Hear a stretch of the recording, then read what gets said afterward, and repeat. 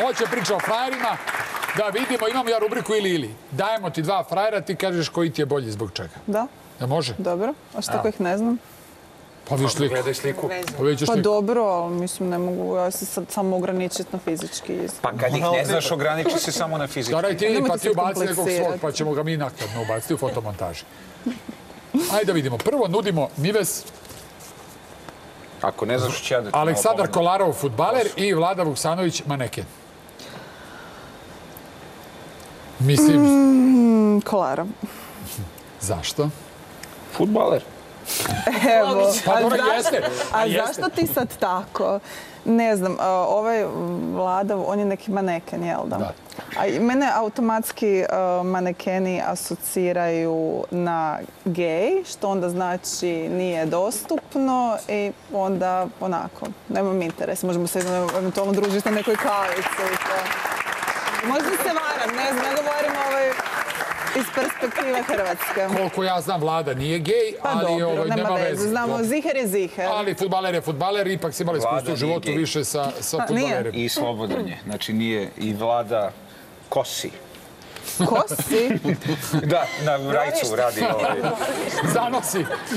Na rajcu radi Kosi. vredan dečko. Ok, osta- Ništa, ako kosi, evo ja imam veliko dvorište, neka dođe. koliko ti je dvorište kad ti kupatilo ima luster. Pa kada je veliko mi dvorište, skupi se neka dva put 11 momaka igraju futbol dugo i ja gledam. Ja volim sama da kosim, tako da nema potreba. Savršeno.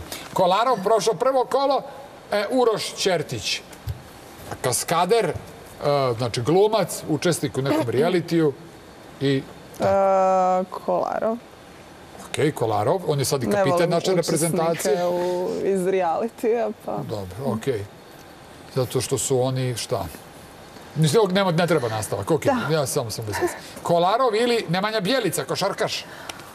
A gle, ne vidim ja to ovako sad baš tako dobro. Pa, Pa loše je slika. Imaš iz... Evo, ja ću... te, pa malo je udaljeniji Bjelica. Ispadaju vam telefoni, ljudi. Pa sladak je ovaj bijelica, ali ovaj, nema veze, ajde, ajmo, ajmo ostat ćemo na Kolarovu. Dobro, Kolarov, pa kapiten, dobro, Dobro, kapitenski, evo, stoički to. podnosi Da. ovo.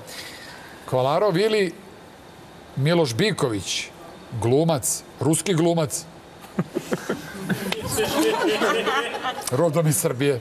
Pa dobro, glumio s Banderasom, A zna i srpski. zna i srpski. Bilo što sam već ranije zamijetila i baš danas sam se pokušavala sjetiti koji mi je taj srpski glumac zgodan. A da nije moj kolega ovdje pored mene, a, tako da fali... to Da, mi, je, to mi je baš erogena zona. Jel je? A, Miloš Biković. e. Biković, Da, da, da, opa, ne mogu da verujem. Ne mogu da verujem, Biković. Dobro, Ne. Biković ili Aleksandar Radojičić, isto glumac, glumio je s njim u filmu Montevideo. Je li igrao? Jeste, Montevideo. Biković. jeste. Biković ipak. Dobro, Biković, da li je Biković pobedio ili ne? Da vidimo. Biković, bravo. Izabrala si.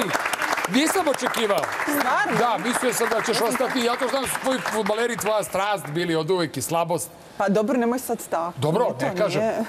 Dobro, vremena se menjaju.